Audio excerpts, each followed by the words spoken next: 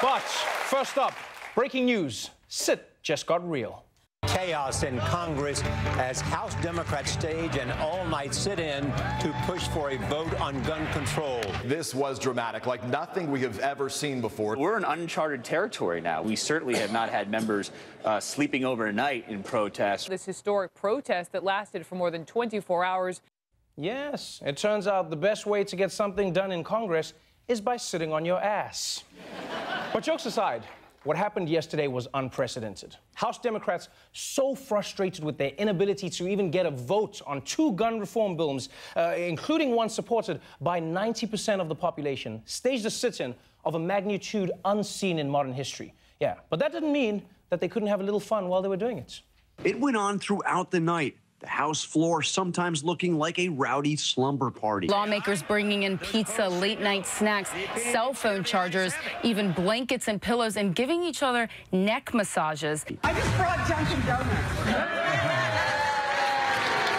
Representative Cleaver of Missouri, he had a large pink and white striped pillow, and he said that he was prepared to spend the night. You know that congressman's been saving that pillow, right? You know he's been having that pillow. You can't just pop out and buy a pink and white striped pillow. That's not how it works. The guy's been waiting forever for this moment. Every time he's been in Congress, like, and now? No? Okay, okay, okay. How about now? Oh, no, no, no. Obamacare? No? Oh, man, looks like it's. Sit in! Finally! Yeah! Now I get to use my pillow and my matching blazer. Why does it match? Man, 25 hours. Can you imagine? 25 hours just sitting there together. And I'm sure the first couple of hours were cordial, you know, but after like hour five, people probably started to let loose, you know, let a fart slip here and there. yeah? It's 25 hours. Someone's like, what is that smell? Republican bullshit! now, now, the congressman leading yesterday's sit-in was none other than Georgia representative and famed civil rights protester John Lewis. John Lewis, uh, the uh, congressman, the civil rights icon who helped lead this sit-in. Best known uh, for the work he did during the civil rights era, uh, leading the march over the Edmund Pettus Bridge in Selma. In the 1960s, he led sit-ins demanding an end to segregation. That's right. That's right. This is what John Lewis does. He's been sitting in for decades now. He knows that when you want something, you sit in for it. Gun control votes, you sit in. Civil rights, you sit in opening night tickets for Star Wars Episode 7, you sit in. hmm. Marched with King I have. Overcome we shall. Now, for me, uh, the biggest winner of, uh, of all last night was C-SPAN.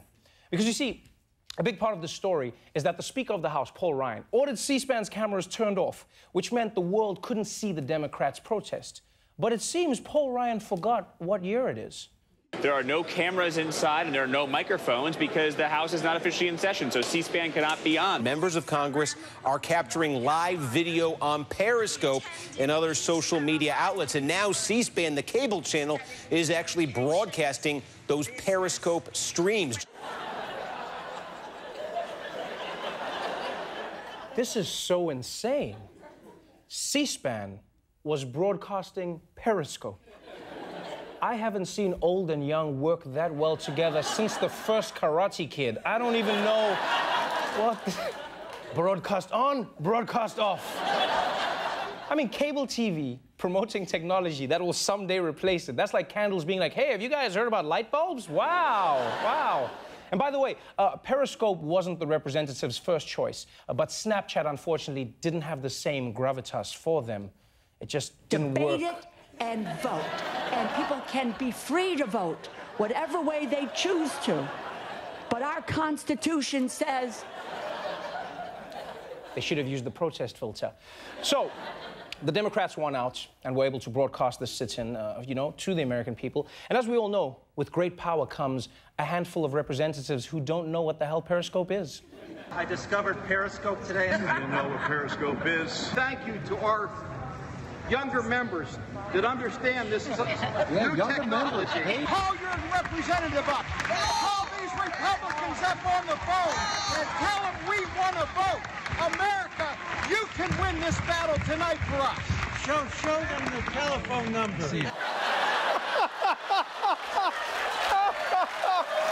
oh, man. Oh, that guy is so cute and and impressive. How many people can say they've used Periscope the app and an actual Periscope? How many people can say that? But he's right, though. He is right. I will say this. You see, the reason the NRA has so much influence in Congress is not just because of their money, but it's because their most vocal members call Congress all the time. And right now, you're probably like, that's a good idea. I'll tweet them. No, no, that's not going to work. Emails don't work. Look, see that phone that you probably have in your hand right now? Maybe you didn't even know this, but there's actually a phone app on it. and if you move the phone from here to here, you can call your congressperson with your voice. And maybe you're like, ah, Trevor, that's something only old people would do. yeah, your congressperson is old.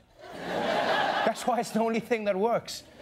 So basically, last night, Congress had a slumber party. And uh, as with any slumber party, it's only a matter of time before lame dad breaks it up. The chair would hope that the business of the House could be conducted in a fashion that, represent, that respects positively on the dignity and the decorum of this institution to which we all belong. Poor dad. That's a man who was like, yeah, sure, honey, uh, you can have a slumber party. What is it, 20, 25 girls? How crazy can it get? I'm gonna kill myself. Now, many people saw this as an act of protest, you know, civil disobedience, a plea to do something about guns in America. Paul Ryan, well, um, he saw it another way. This isn't trying to come up with a solution to a problem. This is trying to get attention. This is nothing more than a publicity stunt. Uh, yeah. That's exactly what a political protest is. That's what they are. They're publicity stunts. When the colonists threw all the tea in the Boston Harbor, no one said, that's just a publicity stunt. you can't have a tea party without cucumber sandwiches. but if anything, if anything, the one place you can criticize the Democrats is using the sit-in as an opportunity to fundraise for their campaigns, which, to be honest, is pretty You know, when you're up on the moral high ground, it's not cool to be looking for money. That's not the time. You know, that's like Martin Luther King going, I have a dream, I have a dream. And someone else is like, yes, Dr. King has a dream. And for $500, you can turn that dream into a reality. so after over 24 hours, the Democrats finally stood down. Paul Ryan and the Republicans uh, never did allow votes on the gun reform measures. And the reason why, as one Republican congressman put it last night, is that they didn't want to surrender to legislative blackmail. but essentially, their argument is this, and that is this isn't how the House works. Right? In the House, the majority party decides what bills come up for a vote, and if they gave in just because Democrats were causing a scene, it would set a dangerous precedent. Yeah, you'd have random Congress people doing sit-ins, you know, all the time for every little vote that they wanted, which is ridiculous. The seats of their pants would start to wear out from all the sitting. And you'd end up with a bunch of old white dudes in assless pants. Nobody wants that. I get it. I get it. Although I do wonder if Republicans say a loud minority shouldn't be allowed to control Congress, then why do they let the NRA do it? And let's not forget, let's not forget, in 2008, when Republicans were in the minority, they pulled a similar stunt because they wanted a vote on expanded oil drilling, and then Democrats blocked it. So they also staged a protest. And that's fine, people, because protesting is a valid way to make an important point. For Democrats, the point was that Americans don't want over 32,000 people to die every year of gun violence. And for Republicans, is that we want to drill more holes in the ground. Both equally valid issues. And look, Republicans do have a point, though. Responding to this pressure by allowing a vote could break the system. But let's face it, the system is already broken. The people elect congressmen to represent their will. And right now, by refusing to hold votes on a bill that's supported by 90% of the American people, the GOP is ignoring that will. And so the Democrats are just trying to shock the system back into working, you know? It's sort of like, like what you do if you, you put a dollar into a vending machine, and you're trying to get a Kit Kat, and then your Kit Kat gets stuck in the coil thing. You are well within your rights to smack the out of that machine. Yeah, you get in there and you smack the out of that machine.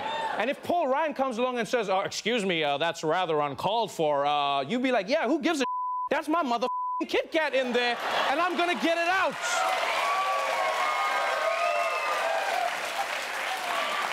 And if I may, one more thing about Paul Ryan himself. The problem with Paul Ryan. Hey guys, so it looks like uh, Paul Ryan managed to shut our cameras off So I'm coming to you live from Periscope, and I encourage every one of you to join me and let your voices be heard. Thank you so much, because that's what democracy is all about, people. That's what it's all about, and thank you. I appreciate it. Thank you so much. Democracy is supposed to represent the will of the people, right? And well, that's true. That's true. Pandas are indeed soft. Thanks for chiming in.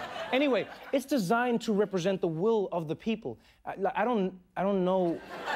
I don't know where your garlic bread is, and please don't call me bitch. That's not cool. And when a democratic government fails to listen to what the. Guys, garlic bread and banana bread are both delicious. You don't have to choose one. It's not a choice. And when a government fails to step up, the responsibility falls on the rest of us. And what the people. First of all, I am not your daddy. And even if I was, I wouldn't fist you because that would be weird. Now, what was I saying? Oh, right, right, right. The will of the people. All right, what? What? Who doesn't have the. What does that even mean? Look, I'm trying to. Well, thank you, but I am not John Legend. Um, look, look, look, asshole, I don't know where your garlic bread is. I don't know. Why do you people, I'm trying to tell you, you know what, Paul Ryan was right. Cut the feed, just cut the feed. I'm sick of this. Cut it, we'll be right back. Cut the feed. Hey there, it's the Daily Show's Trevor Noah. We have our own YouTube channel now, so uh, please do subscribe. Uh, I'll, I'll wait so you can. I won't even look, just because I know that's weird. Sort of like when a dog's doing its thing. You can just, yeah, just subscribe. I won't, I won't look.